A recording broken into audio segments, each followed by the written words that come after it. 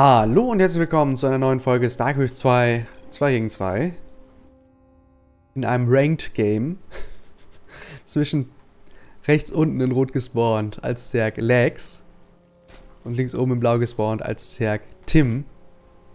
Tim, einen kleinen Tipp, den ich dir vor dem Spiel äh, nochmal geben möchte, ist, schau doch bitte mal nach, wie Ranked Game geschrieben wird, weil äh, das hat mich doch gerade ein bisschen zum Lächeln gebracht, als ich das hier gesehen habe. Er hat mir nämlich eine Nacht geschrieben, wo er irgendwie gesagt hat, das ist mein erstes Ranked Game seit langem, sei bitte gnädig. Bin ich, allerdings nicht mit deinen Rechtschreibskills. da doch bitte ein bisschen äh, gucken. Weiß nicht, ob ich das jetzt hier einblenden darf, ohne, äh, ja, ich glaube, das ist dann zu sehr, zu sehr exposed, das mache ich mal nicht.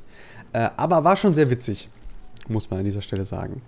Pool First gibt es auf jeden Fall hier bei Lex äh, und dann das Gas ist im ZVZ ja was, was durchaus häufig gemacht wird, da ja viele, viele variable Openings, mehr eigentlich als in jedem anderen äh, Matchup, was die Zergs angeht, würde ich sagen. Äh, ist allerdings kein Early Pool, sondern einfach nur ein äh, Pool First, also Pool for Hedge auf jeden Fall. Ich weiß gerade gar nicht, ob das Gas eher war oder der Pool. Sollte trotzdem jetzt gleich eigentlich eine Hatchery geben. Wenn nicht, würde mich das doch ein bisschen überraschen. Bei Tim dagegen haben wir jetzt äh, den Pool und das Gas erst etwas später. Sogenannte Hedge First, also das Standard Opening. Das Gas auch gerade nur von zwei Drohnen gemeint.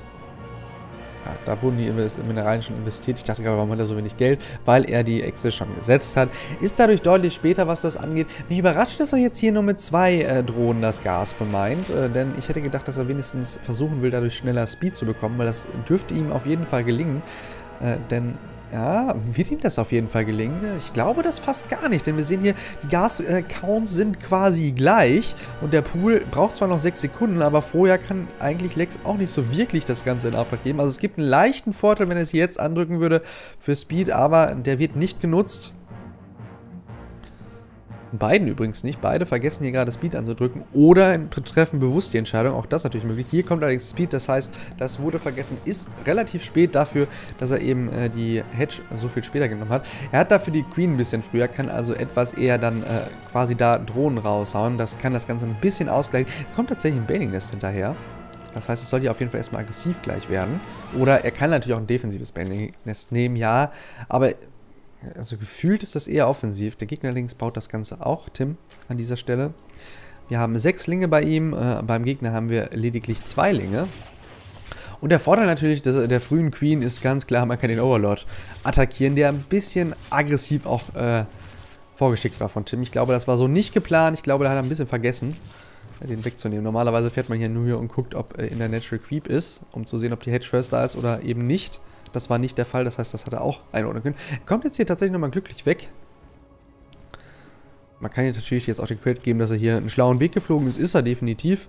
Trotzdem würde ich sagen, war das ein bisschen glücklich. Aber das macht unterm Strich nichts, denn ein bisschen Glück gehört natürlich in StarCraft auch mal dazu. Leertech kommt jetzt auf jeden Fall auf Seiten von Lex und baut hier einen Spinecrawler tatsächlich in der Natural. Das spricht dafür, dass es bei ihm kein Ling All-In geben wird am Anfang, sondern eher etwas, äh, wo er etwas sicher sein möchte, jetzt defensiv und nicht äh, in seine eigene Offensive investieren möchte. Es gibt weiter Drohnen bei Tim. Drohnentechnisch sind sie ausgeglichen, allerdings kommen nochmal sechs weitere Linge dazu. Er hat sogar ein paar Banelinge hier schon eigentlich eher defensiv positioniert. Sein Linkspeed braucht noch ein bisschen länger, neun Sekunden noch. Äh, das heißt, er kann auch jetzt gar nicht so toll rüberrennen. Ähm, was mir ein bisschen missfällt hier bei Lex, sind die Overlords. Ja, er deckt hier relativ viel ab bei sich, aber er weiß nichts vom Gegner. Eigentlich möchte man auf jeden Fall so hier so einen Overlord erstmal haben. Dann würde er nämlich jetzt sehen, dass hier die Linge losrennen und auch wieder zurück. Äh, aber wenn die sich über die Map bewegen würden, äh, dann wüsste das Lex erst an dieser Stelle. Und das ist schon ziemlich spät, zumal er ja nicht, nichts hat. Er hat zwei Linge und einen Spinecrawler, aber das macht dann bei einem Link Bailing All auch nichts. Also wenn jetzt hier einfach der Push rüber käme, es kommen wenigstens ein paar Einheiten, aber also wenn jetzt hier einfach ein Lingol gekommen wäre gegen Lex, dann wäre Lex einfach tot. Das muss man mal ganz klar so sagen. Er hat nämlich gar nichts und eben auch keine Vision, um frühzeitig darauf zu reagieren und weitere eigene Linge bauen zu können. Tim guckt jetzt hier, ob eine dritte Base da ist. Das ist nicht der Fall. Er selbst nimmt eine. Ist deshalb wahrscheinlich jetzt auch ein bisschen vorsichtiger gleich, könnte ich mir vorstellen. Die Linge rennen allerdings hier einfach in die Main Base rein. Scouten hier alles, sehen äh, den frühen Hydra denn tatsächlich. In der Main Base haben wir auch einen Spinecrawler. Damit wird es schwierig, die Queen zu snipen. Sonst wäre das natürlich eine Sache, die man ganz gut machen kann. Aber diese Queen, diese Queen kann er bekommen. Ah, der Surround sitzt jetzt nicht so bombastisch. Also eigentlich gar nicht, um genau zu sein. Den Queen zu kommen im ZVZ natürlich immer eine schöne Sache, aber es äh, gelingt hier nicht. Lex macht das ganz gut. Hat sogar zwei Queens hier gehabt in der Natural. Dementsprechend wäre es gar nicht so schlimm gewesen, jetzt eins zu verlieren. Aber wenn man eben äh, an einer Base keine Queen hat und eben nicht diese Larven zur Verfügung hat, der Gegner schon, dann ist das im ZVT einfach ein Todesurteil. Das kann man nicht anders sagen. Wir sehen jetzt die ersten äh, Hydras und es gibt hier tatsächlich einen sehr, sehr frühen Lurker, denn 16-Linge auf der anderen Seite von Tim. Der möchte jetzt hier vielleicht sogar äh, nochmal aggressiv werden, denn er, er, hat gesehen, da ist nicht so viel. Hat gesehen, es gibt einen frühen Leertick, aber er hat auch gesehen, dass der Hydra denn da ist. Also normalerweise spricht ein früher Leertick eigentlich immer für Mutas, äh, vor allen Dingen auf 2 Base. 2 Base Hydras ist eigentlich ein bisschen ungewöhnlich und 2 Base Lurker habe ich so noch nicht gesehen, muss ich sagen. Vielleicht ist das was, das häufiger passiert. So lange bin ich ja noch nicht Zerg, aber für mich als äh, noch nicht Experten im ZVZ würde sagen, es ist doch eher ungewöhnlich, was Lexi jetzt spielt. Da sind die ersten Hydras, das Surround der Linge klappt hier leider nicht und dementsprechend klappt der, der Reverse Surround sozusagen durch die Spawn-Linge von Lexi. Das war sehr, sehr unglücklich für Tim, dessen Banige jetzt leider erst kommen. Die werden vermutlich nicht so viel Schaden finden. Oh, das war schon nicht so schlecht. Wäre noch ein bisschen schöner gewesen, hätte er die hier alle gekriegt. Äh, aber immerhin fünf Worker, naja, für, für, für drei Banelinge, fünf Worker. Naja, man hat auf jeden Fall den Gegner noch mal ein bisschen gestört. Äh, zumal die Bändige hier definitiv nicht mehr weggekommen wären. Dementsprechend aus der Situation dann wahrscheinlich das Sinnvollste noch rausgeholt. Jetzt haben wir gerade mehrere äh, Injects übereinander. Sehr, sehr viele Spinecrawler, die hier Lex baut. Das ist... Gefällt mir nicht. Also ich bin ja kein Freund von so viel statischer Verteidigung. Das habt ihr ja vielleicht schon öfter mal mitbekommen. Einfach auch, weil man sie dann nicht offensiv benutzen kann. Gut, streng genommen kann man im ZVZ mit den Spike natürlich rüberrennen zum Gegner und sie dort eingraben, aber das ist, glaube ich, eine Situation, die nicht so häufig passieren wird. Wir sehen übrigens den Spire bei äh, Tim. Wobei der Gegner natürlich schon Hydras hat, die zwar eigentlich zu Lurkers werden sollen, aber trotzdem ist natürlich hier dann die Chance da. Wir haben allerdings keinen Spore, weder in der Main noch in der Natural für Lex, sondern immer nur Spinecrawler. Sogar hier nochmal ein Spinecrawler. Also das finde ich auch ein bisschen sehr übertrieben. Wir sehen das 1er Attack Upgrade für die äh, Hydras und Lurker und Co., also die Fernkampfeinheiten. Immer noch keine dritte Base, das gefällt mir überhaupt nicht. Genauso wie der Ressourcenstand hier bei beiden. Ähm, Lex kann da auf jeden Fall mal einige Lurker raushauen wenn er denn möchte. Ja, er hat doch, er hat das Gas ja sogar. Tim hat das Gas nicht, das heißt, er kann leider nicht mehr Mutas bauen, kann aber einfach mal eine riesige Drohnenrunde nochmal äh, dazu drücken. Er hat leider keine Larven, also die Injects offensichtlich nicht die... Ja, wobei... Queens haben alle nicht, nicht zu viel Energie, das hat er schon äh, gut gemacht. Ich weiß nicht, ob er hier das quasi gerade erst gemacht hat. Ich fürchte fast, ja, ja, so sieht's aus. Kommen jetzt hier nacheinander äh, die Qs quasi erst rüber. Die ersten Mutas sind jetzt auf dem Feld. Ich glaube, sie wurden noch nicht gescoutet vom Gegner. Plus zwei Tickets geht jetzt für die Fernkampfeinheiten bei Lex. Ersten Lurker, wie gesagt, auch schon da. Was, dass diese dritte so lange braucht, das ist, irritiert mich hart. Double Evolution Chamber jetzt auch bei Tim. Der sollte aber, wie gesagt, erstmal eine riesige Drohnenrunde raushauen. Das fehlt mir bei ihm äh, wirklich extrem gerade. Und auch, dass er seine Mutas nicht offensiv nutzt, finde ich etwas komisch, denn defensive Mutas bringen eigentlich gar nichts und Mutas werden tendenziell auch immer schwächer, je länger das Spiel dauert. Dementsprechend eigentlich sinnvoll, die jetzt möglichst früh anzusetzen und äh, eine Reaktion des Gegners zu forcen, entweder in Form von noch mehr Hydras, die dann vielleicht von Link Baning irgendwann gekontert werden können, wir haben allerdings keinen Baning Speed, oder aber eben die Sporecrawler wenigstens in jeder Base. Er könnte sogar hier diese Base, na, könnte er nicht, dafür sind die Hydras zu nah dran. Ähm, wenn er ein bisschen früher gewesen wäre, hätte er diese Base sogar rausnehmen können. Er wusste ja relativ frühzeitig, wann sie platziert ist durch diesen Overseer, der da... Ah, wusste er gar nicht. Er stand quasi hier, hat es trotzdem nicht gesehen. Überrascht mich ein bisschen. Und jetzt gibt es hier tatsächlich so ein leichtes Abwarten. Das finde ich auch ein bisschen komisch. Der Spieler hier mit äh, Hydra... Lurker rennt jetzt hier zurück. Wir sehen jetzt hier bei Tim auf jeden Fall das, äh, was ich gerade äh, quasi andersrum gesagt habe. Oh! Tim, ich gebe dir den Ratschlag, dein Hotkey-Profil zu verändern und Benninger morphen lassen und Benninger explodieren zu lassen, nicht auf den gleichen Hotkey zu legen. Das ist etwas, was man, wo, wo diese Situation, die gerade passiert ist, noch häufiger passieren muss, bis man das wirklich macht. Ähm, aber wenn man das mal geändert hat, dann ist das eine sinnvolle Sache. Jetzt geht es hier auf jeden Fall rein, die Löcker graben sich ein, weil gegen Ling äh, Bailing sind Lurker schon ganz gut. Also, das ist vielleicht hier ein bisschen schwierig. Da kommen jetzt die Mudas dazu, aber das sind viele halt. Also, ich glaube nicht, dass die Mudas hier da das Entscheidende liefern können. Äh, ich sollte jetzt mal hier die vierte Base rausnehmen, das in jedem Fall. Jetzt sind die Lurker unborrowed, aber da kommt der Move-Out ein bisschen zu spät. Ich glaube nicht, dass das reicht. Ah, vielleicht räumen die... Ja, die Mutters reichen. Die Mutters reichen. Es sind zu wenige was noch übrig. Die Bellinger haben genug Schaden hier gemacht. Damit kann hier alles getötet werden. Leider kein äh, Overseer hier auf Seiten von Tim. Wo ist die Detection? Morph Detection! Da kommen die Reinforcements tatsächlich. Und er konnte die Lurker hier nicht abräumen, weil eben keine Overseer da sind. Und die Reinforcements reichen hier, um die Mutters rauszunehmen. Von... Tim? Fragezeichen. Sieht eher so aus, als würde es ausreichen, so gerade für die Mutters. Aber das war natürlich sehr, sehr teuer. Viele, viele Mutters hier gestorben. Zwölf Stück insgesamt. Es kommen neue dazu tatsächlich. Und jetzt ist der Overseer da. Jetzt können die Lurker nicht rausgenommen werden. Neue Hydras sind übrigens auch wieder da. Ich glaube, dieser Lurker wird tatsächlich erstmal weiter überleben. Relativ viele Overseer bei Lex würde ich mal an dieser Stelle kritisch anmerken. Es sind viele Ressourcen, die da reingegangen sind. Aber natürlich sieht er wenigstens alle gegnerischen eingegrabenen Einheiten, obwohl Burrow gar nicht erforscht ist und noch keine Lurker auf dem Feld. Trotzdem reichen hier gerade die Reinforcements wieder aus von Tim, um den Push wieder zurückzudrücken. Trotzdem kommen hier wieder die nächste Welle. Die nächste Welle halt, was rennt hier los? Äh, die 2-0er Upgrades machen halt auch viel, viel aus, muss man sagen, an dieser Stelle noch äh, keinerlei Upgrades, wenn ich das richtig auf dem Schirm habe. Jetzt hätten wir hier gesehen äh, von Tim. Äh, das ist natürlich was, was ihm äh, dann schwer zu schaffen macht. Natürlich, er hat Bailing Speed, aber ich meine natürlich hier diese, äh, ne, diese die, die normalen Upgrades.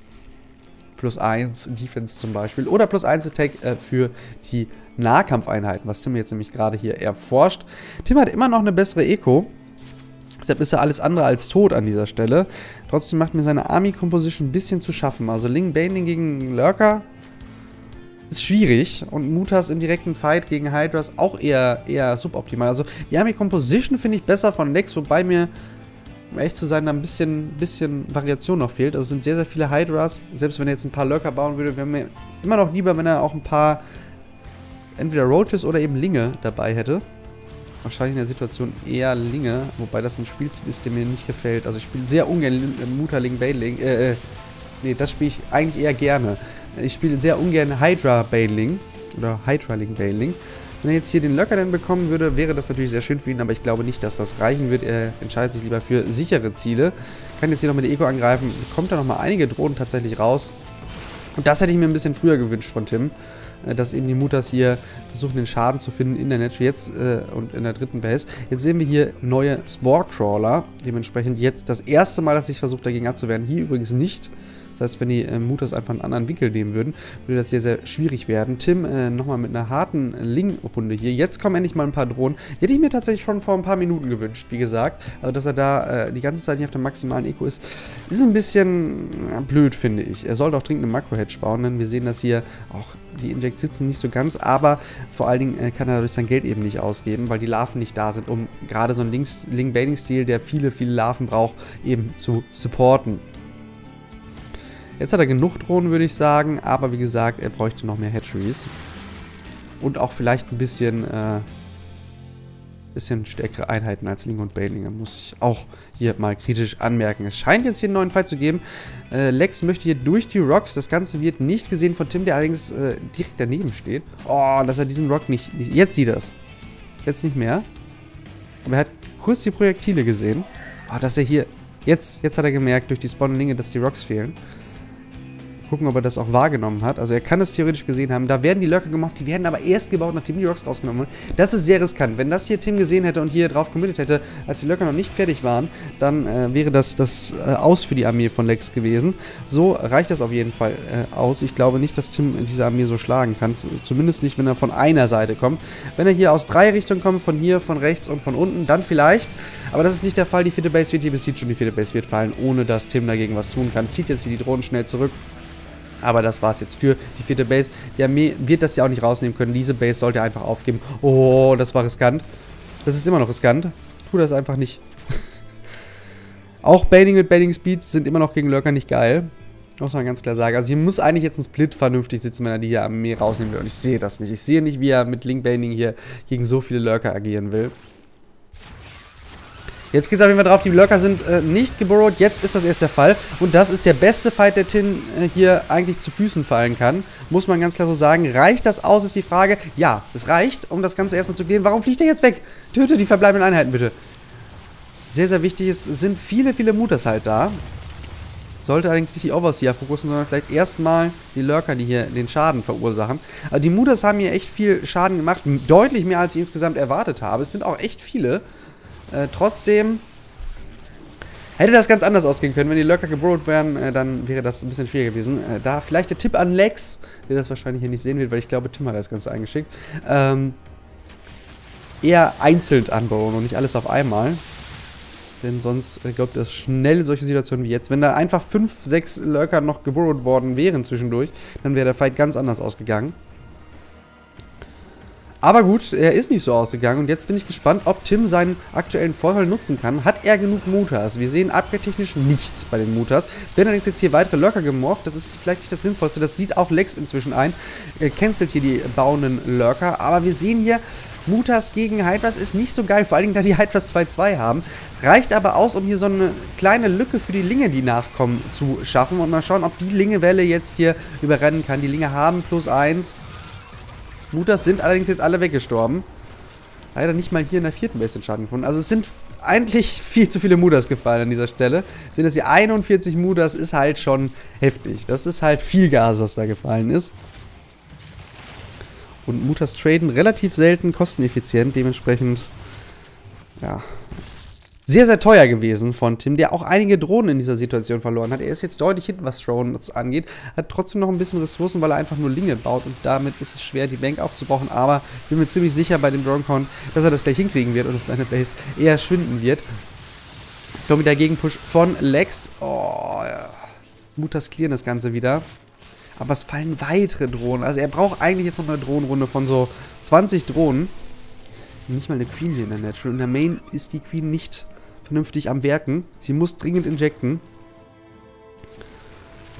Neue vierte Base steht jetzt, wobei es eigentlich die fünfte ist, weil unten ist ja schon eine Base. Aber an der normalen vierten Base Position steht jetzt wieder eine neue Base. Ling gegen Ling War gewinnt Tim eigentlich immer relativ gut, weil er das eine Nahkampf-Upgrade hat. Auch wenn der Gegner ein äh, Defense-Upgrade mehr hat, ist das, glaube ich, sinnvoller. Stimmt das überhaupt? Weiß ich nicht. Kann ich, um ehrlich zu sein, nicht so gut sagen, aber zur Not klären ja die Mutas noch. Ich bin jetzt gespannt, äh, wie das hier weitergeht. Oh, warum stehen hier so viele Drohnen? Das ist eher, eher suboptimal. Relativ viele Linge. Ich weiß nicht, warum jetzt hier äh, Lex auf einmal auf Linge committet. Er hat eigentlich die Möglichkeit, also wenn er jetzt nochmal zwei, drei Lurker mehr dabei hätte, würde mir das doch deutlich besser gefallen, um ehrlich zu sein. Jetzt in diesen Link-Baning-Fight bei Minute 18 nochmal zu gehen, äh, ohne selber Baning-Speed zu haben und mit äh, Upgrades, die da vielleicht nicht äh, auf, drauf ausgelegt sind finde ich das doch etwas überraschend. Tim scheint jetzt den nächsten Push starten zu wollen. Es sind wieder viele, viele Mutas dabei. Also wie viele Mutas hier Tim gebaut hat, finde ich überraschend. Ich bin ja eigentlich gar nicht so ein riesen Mutter-Fan, muss ich ganz klar sagen. Schon gar nicht im ZVZ, weil ZVZ Mutas ist immer ein ganz komisches Spiel. Noch schlimmer als PvP Phoenix ist. Ah, die Bandlinge sitzen hier gut von Tim. Und das sieht so aus, als würden die Bandlinge hier ausreichen. Das ist genau das, was ich gemeint habe. Warum lässt sich Lex in dieser Situation auf einen Linkfight ein, wenn er eben anderen Text zur Verfügung hat? GG, Tim gewinnt diese Partie. Herzlichen Glückwunsch dafür. Stand aber zwischendurch hart auf Messerschneide. Mich hat überrascht, wie viel Schaden noch echt die Mutas gemacht haben. Vielen Dank, dass du mir das demonstriert hast. Und vielen Dank fürs Einschicken. Übe nochmal das äh, Wort Rank Mitch bitte. Ansonsten war das schon in der Partie doch gar nicht so schlecht. Ich hoffe, euch hat es gefallen. Und ich schaue beim nächsten Mal wieder vorbei. Hier oben rechts zu Folge klicken und rechts Aspekt von mir. Und dann wünsche ich einen schönen Tag. Macht's gut. Tschüss.